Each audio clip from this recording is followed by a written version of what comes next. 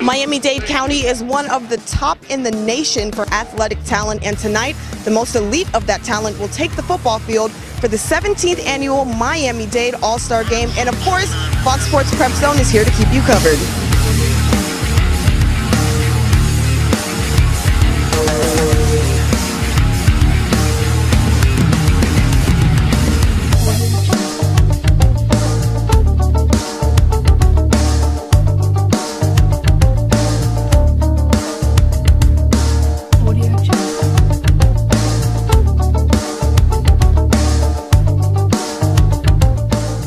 We had a week of uh, preparation, which was uh, a much needed week.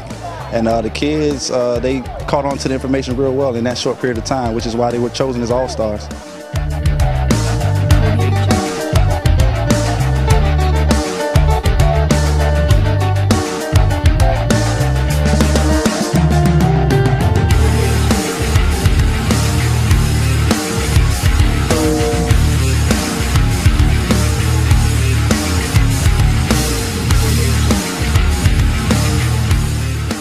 It goes beyond the game. You know, certainly they're all very talented um, athletes on the field. But They're also very talented off the field.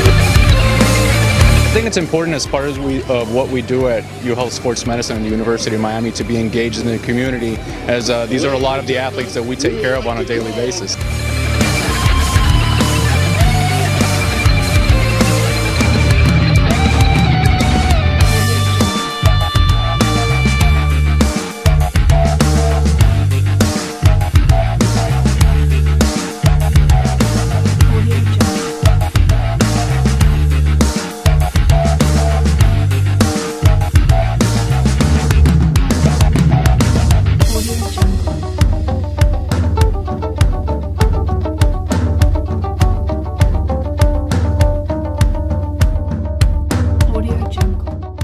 You guys won it in a stunner, 20 to 26. What were your thoughts after the game?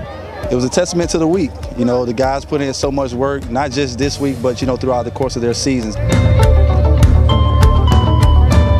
Uh, man, it felt great only having a week to come out here uh, and play a game. But practice all week, it been physical. You know, man, South, they always come hard, and uh, the players from the South always come hard. But just preparing in one week, we did great.